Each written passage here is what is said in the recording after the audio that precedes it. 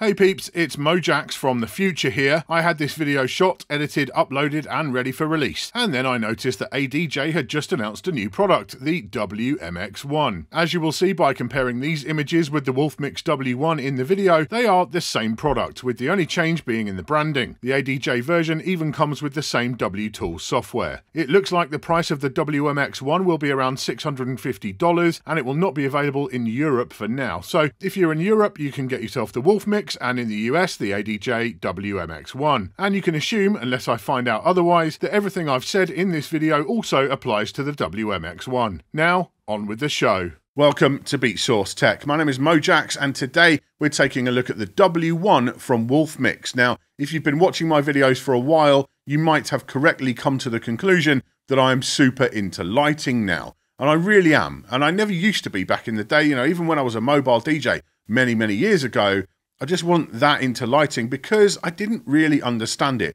The big stumbling block was DMX. Now, DMX, if you're not familiar with it, can be a bit of a nightmare. It is a pain, it is a big hassle, and there's a lot to learn about DMX because it doesn't quite correlate with anything you might know from the audio world. You know, it does things in a kind of different way.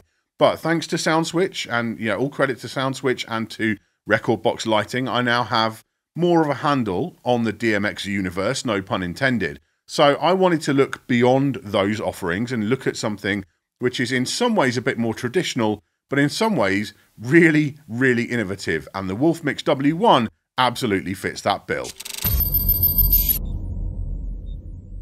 So having told you how DMX can be rather opaque for new users, I will warn you that this review won't be of much help if you're just at the learning stage. It would make the video incredibly long if I had to break down a lot of the concepts which the W1 relies on. What I will do, however, is promise you an episode of Beatsource Basics very soon, in which I'll take you through everything you need to know in order to get started with DMX. Wolfmix may not be a hugely familiar name in the lighting world, but the parent company behind it, Nicolaudie, should almost certainly ring a few bells if you're into DMX. The Swiss company started out making DMX control software for the Commodore Amiga all the way back in 1987, and now their suite of brands includes Daslight, Sunlite, DMX Soft, and Lightrider, and they also developed My DMX Go for ADJ. So if you're looking for software DMX control either on a traditional computer or a tablet, they have you covered already. But the Wolfmix W1 proposition is very different, offering a full suite of DMX controls but completely standalone in hardware. From what I can see, a lot of the ways things work on the W1 are actually quite similar to how they work in the likes of Lightrider, so a transition from a system like that ought to be very straightforward. The W1 costs around 700 euros or 600 pounds in the UK. That price certainly isn't cheap compared to buying a DMX interface and software, but of course with those you will need a computer or tablet to run it with. We'll talk now about the hardware itself, which I think is absolutely on point. The plastic build feels very dense and sturdy, and I'd be quite happy carrying it around just in a bag, perhaps with a Decksaver for a little extra protection. The many pads on the top surface are all really responsive and comfortable to use, and the backlighting is well defined enough to use even in a brighter environment. There are four endless rotary encoders, and of course the full colour touchscreen, which offers a very wide viewing angle and punchy vibrant colours. The touch targets, despite being fairly small, small are also precise, and I had no problem navigating the menus or controls at any point in my testing. The unit is powered via USB, whether directly into the wall or into a computer. This can be a touch fussy. Wolfmix recommend only using their own power plug and cable, but on a 2019 MacBook Pro that cable didn't work, whatever kind of USB-C adapter I tried. I was able to connect it using a USB-B to C cable though, and that worked fine. Next to the USB socket there's a stereo 3.5mm line input which can be used instead of the built-in microphone to get more accurate sound to light performance. We'll talk about that later. Also on the back are a total of four DMX outputs, two on 5 pin and two on 3 pin, enabling up to four universes of 512 DMX channels each. I say up to as by default the W1 has two universes enabled. If you want a third or fourth, those are a paid upgrade at $99 per universe. You need a rather heavy duty lighting rig to even exceed a single universe, so I think that upgrade pricing is fair, considering you get two out of the box as standard. What I really like is that you can assign the outputs in many different ways. So I had Universe 1 assigned to all four outputs, giving me four sockets to use. You may need to pick up some 3 pin or 5 pin converters to use them all, but they're easy enough to get. So if you want to run a cable or two to some lights and also a wireless DMX transmitter at the same time, that's easily done on the W1. If you look at the price of dedicated DMX splitters, that seems like a really nice bonus feature to me. What surprised me most when I started using the W1 is just how much of the functionality of the unit is accessed via the hardware itself. There is an application that goes with it, WTools, but that really is only needed for unlocking feature upgrades, sending extra fixture profiles to the device, and backing up your projects. It also enables BPM sync with software. You can hook up the W1 to Ableton Link via the WTools app for use with programs like Ableton or Traktor, or to OS2L, which Virtual DJ supports. The obvious downside to that is that the Wolfmix then needs to be connected to a computer, but in that situation you're already using a computer, so no biggie and it works really well. The alternative, the audio BPM detection, is pretty good, especially when using the line input instead of the mic, but of course that won't ever be quite as tight as a dedicated sync source. In my testing, I mostly relied on the audio detection and it was perfectly usable for me, and there's always the BPM tap option if things go wrong. And that brings me to something I just want to make really clear at this stage. Apart from when testing out things like Ableton Link or using the visualizer, the overwhelming majority of my time spent with the W1 has been spent using it purely as a standalone device. I built my universes with it, I created my presets with it, and I performed with it. No computer was required. The W1 isn't a dongle or interface for software, it's a hardware box which has the power to perform all the jobs that software would normally do for you. Before I demonstrate some of the functions of the W1, a note on how I'll be doing that demo. Another $99 paid upgrade allows the W1 to link with the EasyView 2 DMX visualization software, which is what you'll be seeing. It's a decent application, which could potentially be very useful if you work with lots of different rigs or often want to do programming without your lights set up. After using it, I feel like I probably wouldn't bother myself. My rig isn't huge and I really haven't felt the need to use the visualizer apart from when filming this video, but it could well be an absolute killer feature for some of you who are watching this, so I'm very glad that Wolfmix offer it as an option. So this is like your home screen. You'll be looking at this one probably quite a lot. We've got our different groups of fixtures. So we have movers, uplights, a Mini Dekker, Ape Lab stuff on there. We actually have another four groups as well, E, F, G and H. So we can go between our different groups and we have multiple fixtures within those groups, but you will generally group them together. So in my case, you know, group A is all moving heads, Group, group B is all uplights, and we can see those in the visualizer on the screen. So I've got four moving heads there and six uplights. And then below that, we have the effects. So we have color effects, move effects, and beam effects. Obviously, they will apply to different kinds of lights. So uplights will not have move effects. In general, the, the color effects will apply to everything. Let's go into that color effects page. So we can choose what groups this is going to impact. And in my case, I'm doing everything. We can adjust the speed either manually or we can synchronize it to the BPM or whatever we want. Basically in terms of that we can choose what beat it goes to as well whether it's a you know one beat or whatever we like. And but I'm just going to go manual speed for now. And then it's a rainbow effect on here. So let's set up a few different colors. And now we can see it's going through all of these colors that I'm selecting down below. So if I just wanted it to go red and blue I can do that. Now it's going to go between red and blue. So again, we can adjust the speed. We can adjust the phase. So whether all the lights change to that color at the same time, if it's zero, or we can phase it. So they are moving in a kind of chase. And then we have the size, which is not relevant for this, but it will be for the movement effects. And the, whether they fade or they cut. So if we turn the fade down to zero, they cut between the different colors. We turn the fade right up to 100%, they do a gradual fade between those colors. And this one is like a twinkly star thing. So this will change more organically. Then we have like a chase for the color change. Then we have this kind of 70s disco vibe, which actually looks really good with real fixtures in real life. It looks fantastic.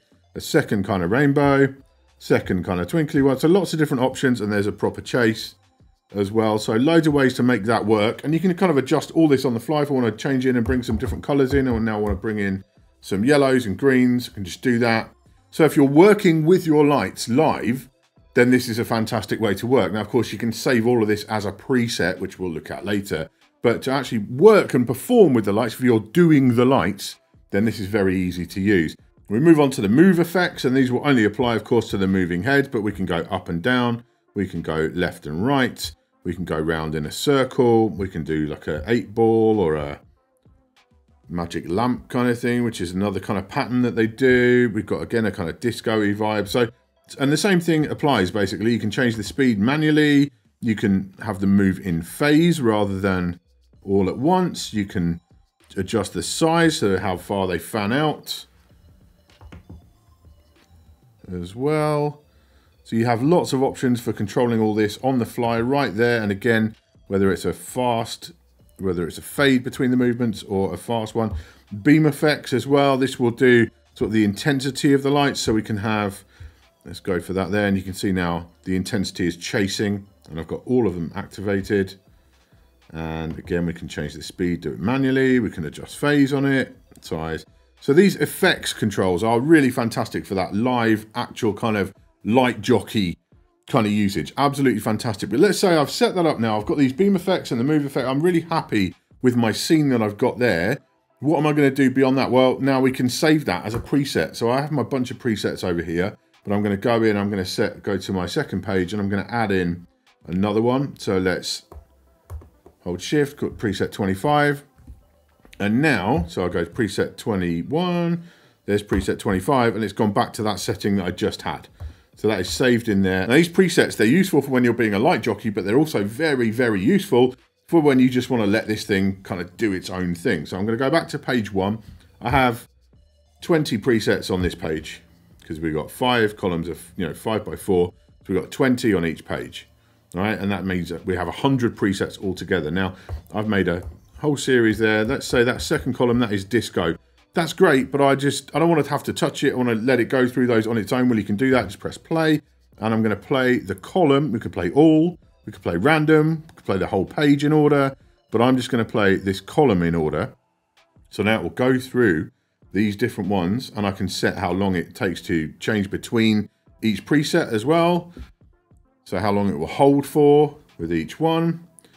And that will go through completely automatically. And that is where as a DJ, that really works for me because I can set on my presets. Let's say I've got a whole page of presets for warm up. I can start on that page, let it play that whole page. Then I can have page two, move over to that and let it play through page two. And that's my peak time lighting presets, for example. So that's where this really, yeah, really works for a DJ, whether you're a mobile DJ, somebody working in a bar or a club, because you don't have to look after it all the time and baby it. Yeah, in terms of your actual presets, fantastic. Just let those roll and you'll be very happy. But of course, you might then want to override what's happening and add a bit of, you know, whiz bang fun when that's happening. So we have various options for that. We have this Wolfmix button up here, which makes stuff go like this.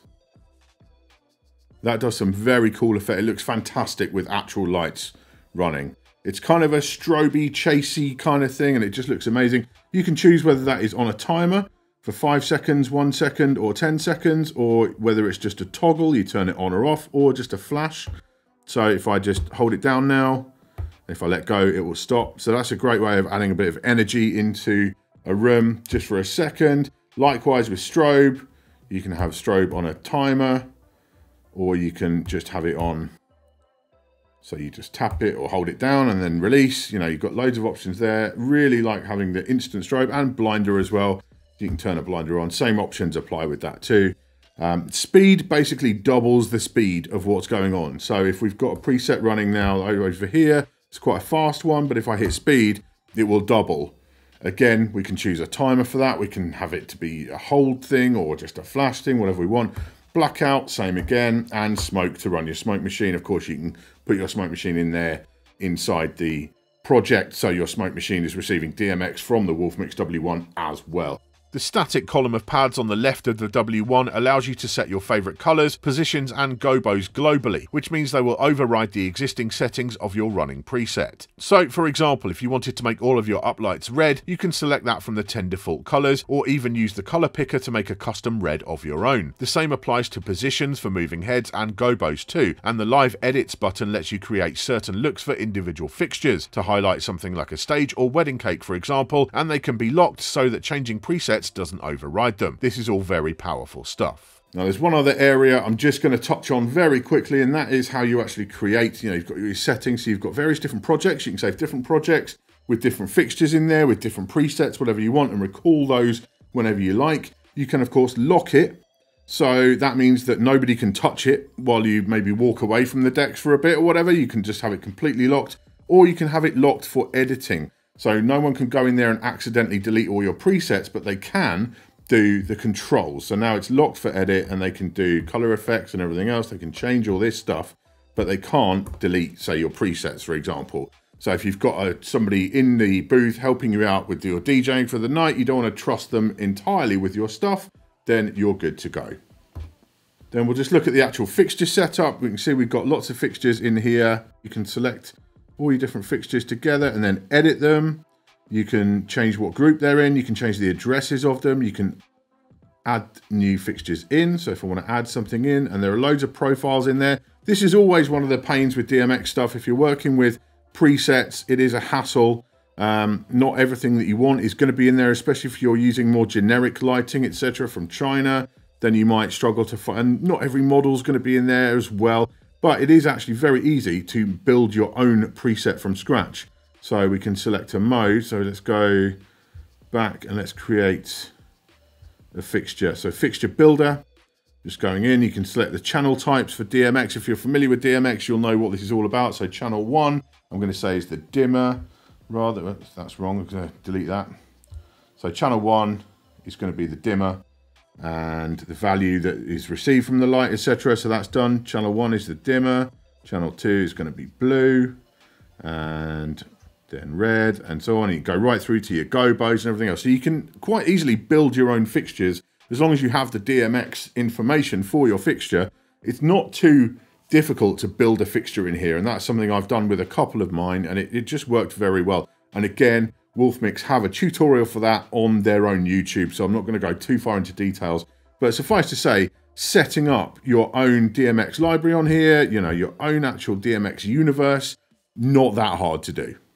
The W1 really is very deep and this video could be a whole lot longer, but I'll just quickly run through a couple more things I didn't cover yet. There are sequences within the move and beam effects which you can program with up to 8 steps and they will apply globally to all of your presets. You can also set movement limits for your moving heads, meaning they will only point in the direction you want them to. This is all done via the screen like pretty much everything else on the unit and is remarkably intuitive. And finally, there is another paid upgrade which I have not mentioned up to now, W-Link, which costs $49. This has two functions. The first is to enable the linking of two W1s together, which sounds a bit niche, but could be useful in situations like in a bar, with one W1 set up in the DJ booth and another in front of house, both working simultaneously. The other function it adds is that it allows you to connect an external DMX fader board for dimming, which could be useful in some rigs and situations, but probably not relevant for most DJs.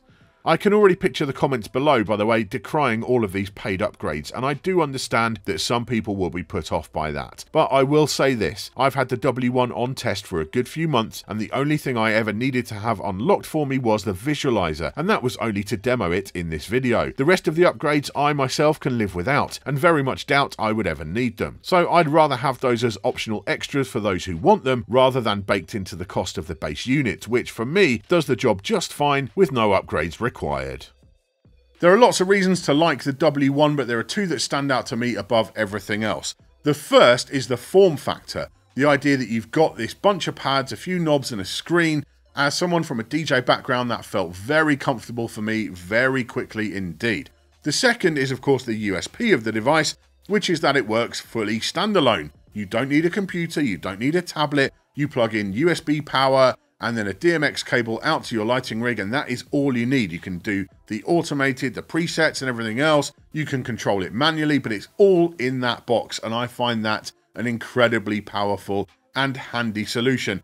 As someone who does use lots of different hardware and software, I don't really want to have to worry about an extra big screen, you know, tablet or computer in my setup when I'm doing lighting. So I'm really, really taken with it. It may not be for everybody though. Do let us know in the comments below if you do DMX in your lighting rig, what kind of control system do you use right now? Is this something that you might consider instead? Or maybe you're new to DMX. Maybe this might open the doors to the idea of using DMX for you Yeah, just let us know down in the comments. That's always appreciated. Thank you for watching this episode of Beatsource Tech. I hope you've enjoyed it. Please do subscribe to the channel so you don't miss any future videos. And why not drop us a like so that YouTube knows that you've enjoyed the video. I'll see you next time.